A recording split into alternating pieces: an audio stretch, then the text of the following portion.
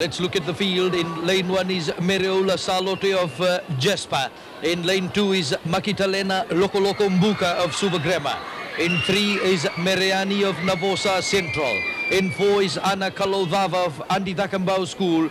Well, she's gone for a run to test the pace. Lane five is Benedict Perpetual of uh, Vaturalda. In six is Numai Rangata of Ratunavola.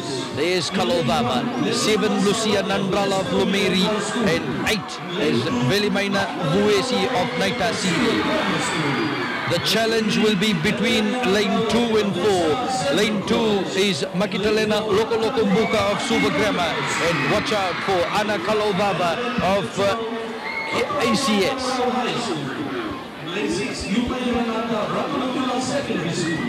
Let's wait.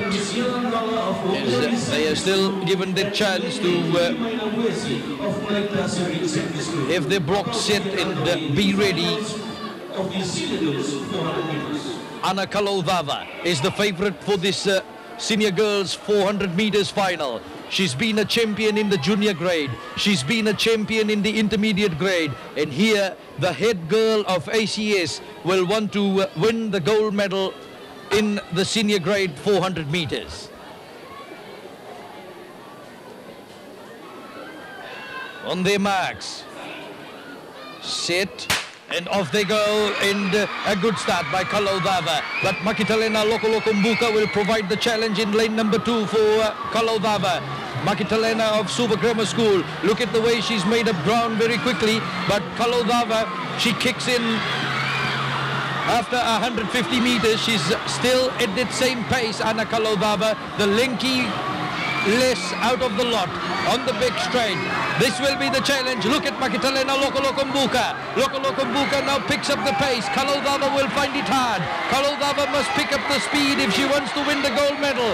Here comes Loko Loko Mbuka. This will be a shoulder-to-shoulder race between Makitalena of Suva Grammar and Kaloucava of ACS. Here comes Loko Loko Mbuka. She hits the home straight well. Makitalena Loko Loko Mbuka. This will be a challenge. Kaloucava won't give it up without a fight. Here comes Kaloucava. What a finish!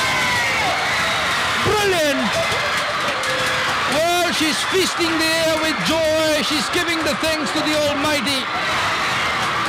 It's been a while since I've seen a 400 meter senior girls race finish that way. And look at that crowd. They are overjoyed. Didn't they think that they had lost it at that moment? I'm sure they would have been quiet at that moment.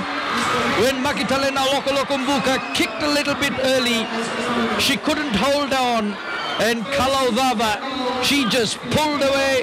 She must have seen from the side of her eye that Makitalena was in front. She never gave up hope and she came through and she's won it. What a finish.